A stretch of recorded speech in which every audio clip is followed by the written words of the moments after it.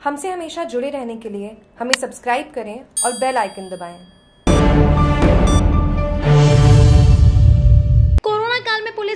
के को देख सेना भी हुई मुरीद सोशल मीडिया पर जोरदार वायरल हो रहा तारीफ़ करने का वीडियो। वैश्विक महामारी कोविड 19 कोरोना के खिलाफ लड़ी जा रही जंग में दिन रात पावों पर खड़े रहकर अगर लगातार ड्यूटी कर रहे हैं तो वो है पुलिस कर्मी भीषण गर्मी व चिलचिलाती धूप में भी उस सड़क पर खड़े होकर कोरोना को आम जन से दूर रखने की कोशिश कर रहे हैं। उनके जज्बे को देखकर भारतीय सेना भी उनकी मुरीद हो गई है। ऐसा ही एक वीडियो इन दिनों सोशल मीडिया पर जोरदार वायरल हो रहा है, जिसमें देश के लिए अपने प्राण न्यौछावर करने वाले सेना के जवानों ने चिलचिलाती धूप में सड़क पर खड़े होकर ड्यूटी कर रहे पुलिस के कर्मवीर जवानों का सम्मान कर उनके हौसलों की तारीफ़ की। दरअसल सोशल मीडिया पर इन दिनों एक वीडियो वायरल हो रहा है, जिसमें सेना के एक अधिकारी सड़क पर तैनात पुलिस व होमगार्ड के जवानों का सम्मान करते हुए उपहार स्वरूप मिठाई के डिब्बे भी भेंट कर रहे हैं। सेना के ये अधिकारी पुलिस स्टाफ की सजगता की तारीफ़ कर रहे हैं और उनकी हौसला अफजाई करते हुए उनको गिफ्ट पैकेट में मिठाई भी भेंट कर रहे हैं। उन्होंने कहा कि कोरोना वायरस के चलते सभी लोग दहशत में हैं। वहीं पुलिस कोरोना को हराने के लिए एक चट्टान के समान खड़ी नज़र आ रही है। आज फौज को भी देश की पुलिस पर गर्व है। सैन्य अधिकारी ने जवानों को सल्यूट भी किया। बाद में पता चला कि ये वीडियो झुंझुनू में खेतड़ी नगर चेक पोस्ट का है, जहाँ नरहट के खेतड़ी के आयुक्त भंडार डिपो जाते समय ब्रिगेडियर एल एन त्यागी ने अपनी गाड़ी रोककर वहाँ तैनात पुलिस व होमगार्ड के जवानों का सम्मान किया और उन्हें उपहार स्वरूप मिठाई के डिब्बे भी भेंट किए, जो सेना की मेस में तैयार किए गए थे। ब्रिगेडियर द्वारा सम्मानित होने पर जिला पुलिस अधीक्षक जेसी शर्मा ने भी पुलिस के जवानों को होमगार्ड को बधाई दी। जागरूक टीवी के लिए जोधपुर से मुकेश शीमर की रिपोर्ट।